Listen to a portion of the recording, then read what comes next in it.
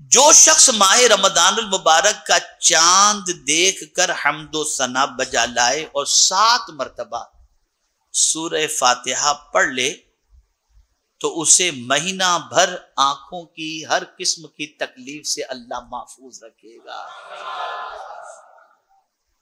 तो चाँद देखकर सात मरतबा क्या पढ़ना है? सुरह फातिहा।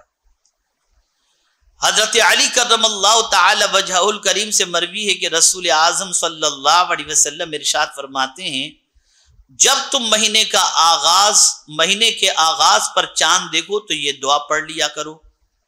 अल्हम्दुलिल्लाही खलका वक़द्दर लका मनाजिल वजअलका आयतुल आलमीन। तो अल्लाह ताला फरिश्तों में इजहार फ़ख्र फरमाएगा और कहेगा, मेरे फरिश्तों, गवाह रहो मैंने अपने इस बंदे को दोजक से आज़ाद कर दिया।